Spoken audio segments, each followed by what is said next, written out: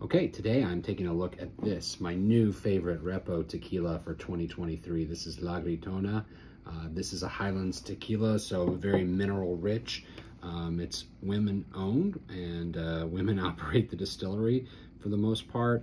Um, the way they produce it is mature agaves, which is pretty important, somewhere in the nine to 10 year range. Um, they don't use any autoclaves, they're clay ovens.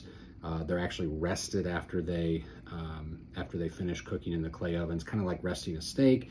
And then after that, uh, stainless steel uh, shred and then crush and then actually double distilled in stainless steel. So copper doesn't touch it. The result actually is this really amazing earthy, pepper, grassy nose and palate, similar to like a rum agricole, but sweeter and lighter there's the pepper. You get a little bit of lime. Um, really nice, pleasant, lifted, light fruit as well. Mm. On the palate, so much flavor in that mid palate. Light, sweet, subtle.